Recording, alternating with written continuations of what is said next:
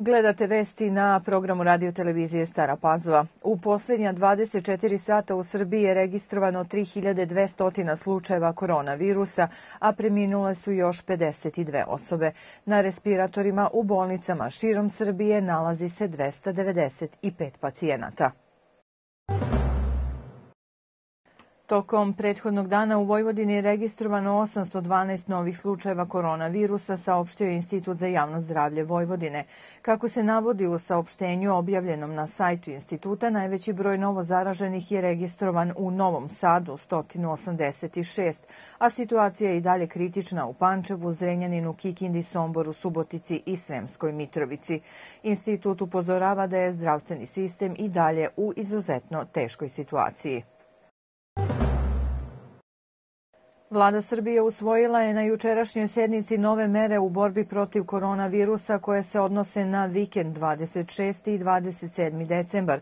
U Srbiji danas i sutra trgovinski i ugostiteljski objekti mogu da rade do 20 časova uz povećanu kontrolu poštovanja epidemioloških mera. Novim merama obuhvaćeni su zatvoreni trgovinski centri i slični objekti u kojima se obavlja delatnost trgovine na malo, a čija je površina veća od 300 kvadratnih metara. Član kriznog štaba, epidemiolog Predrag Kon, rekao je da je medicinski deo kriznog štaba spreman na protest ukoliko bude daljeg popuštanja mera. On je istakao da su potpuno protiv bilo kakvih popuštanja i organizovanja dočeka nove godine, jer to bi, kako je rekao, jako moglo da pogorša situaciju koja je još takva da ne može drugačije da se zove nego vanredna.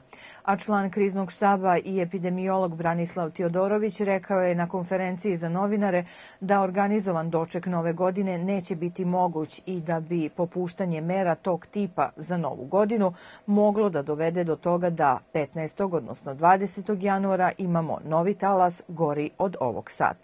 U Srbiji je nastavljeno vakcinisanje protiv koronavirusa. Vakcinu su juče primili korisnici gerontološkog centra u Kragujevcu i Nišu. Centar Ministarstva odbrane Sremska Mitrovica obaveštava zainteresovana lica muškog i ženskog pola da je i dalje u toku javni konkurs za prijavu kandidata za dobrovoljno služenje vojnog roka sa oružjem i konkurs rezervnih oficira Vojske Srbije. Pravo prijavljivanje imaju državljani Republike Srbije starosti od 19 do 30 godina koji ispunjavaju uslove konkursa.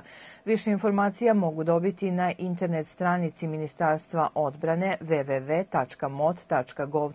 www.mot.gov.rs ili u Centru Ministarstva odbrane Sremska Mitrovica. Zainteresovana lica sa teritorije nadležnosti Centra Ministarstva odbrane Sremska Mitrovica prijavu za dobrovoljno služenje vojnog roka sa oružjem mogu podneti u Staroj Pazovi, ulica Ćirila i Metodija, broj 18, kancelarija 2022, a rad sa strankama je od 7.30 do 15.30. Služenje vojnog roka sa oružjem je jedan od preduslova za zasnivanje radnog odnosa u jedinicama Vojske Srbije u statusu profesionalnog vojnika. Elektrodistribucija najavljuje elektromontažne radove u ponedeljak 28. decembra u vremenu od 11 do 13 časova u Novim Banovcima.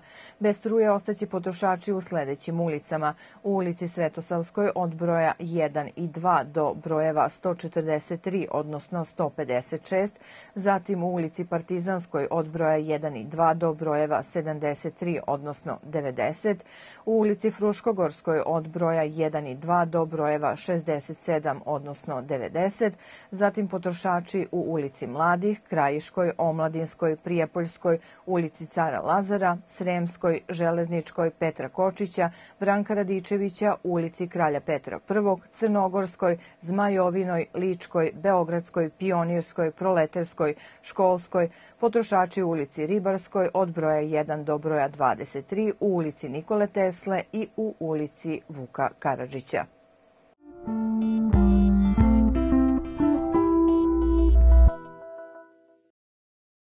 U Srbiji se danas očekuju kiše i susnežica, popodne sneg i u nižim predelima. Stiže hladni vazduh sa severozapada i spušta temperaturu za još 5 stepeni. U nedelju slabije padavine, ali će početi košava, a početkom naredne sedmice ponovo toplije. Bile su ovo vesti za 26. decembar 2020. godine. Hvala vam na pažnji.